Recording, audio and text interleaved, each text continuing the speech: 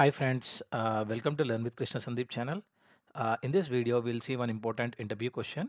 What is object-oriented programming? So object-oriented programming is a programming paradigm that organizes code around the objects, which are instances of classes.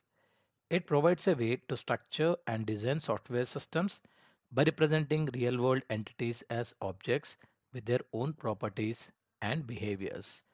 So properties are called as an attributes and behaviors as a method. So OOP emphasizes the concepts of encapsulation, inheritance and polymorphism. In OOPS, a class serves as a blueprint or template for creating objects. So in OOPS, uh, what is the purpose of the class? It is used to create an object. It defines the attributes and behaviors that objects of the class will possess.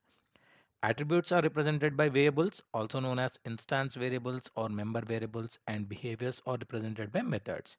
So in Java, attributes are represented by variables, also known as instance variables or member variables, and the behaviors are called or represented by using methods.